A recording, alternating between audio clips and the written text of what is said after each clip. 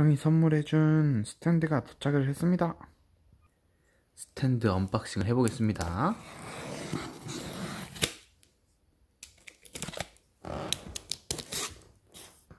콕, 영롱한 이케아 NOT 스탠드.